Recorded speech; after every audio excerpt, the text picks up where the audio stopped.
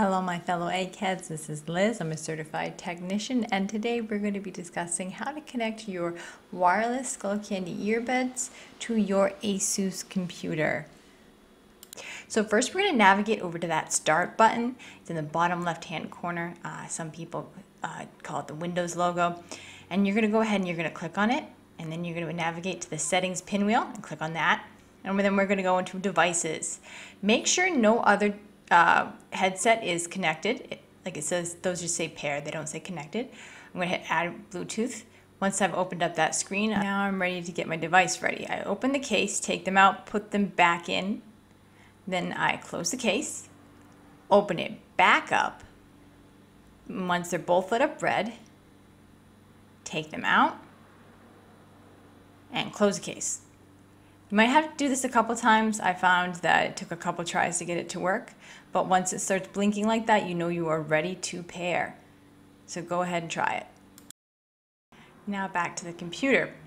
Hit Bluetooth, and as you see, my Skull Skullcandy earbuds pop up. I click on that, and then it connects them. And as you can see in the Bluetooth and other devices, it says connected.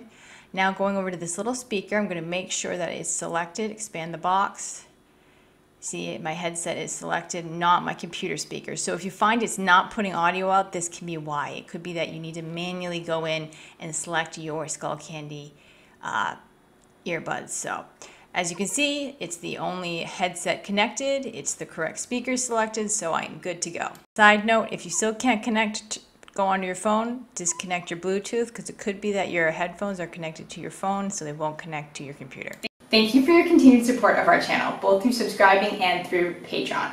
Also, big shout out to our fellow eggheads who have purchased merchandise through our store.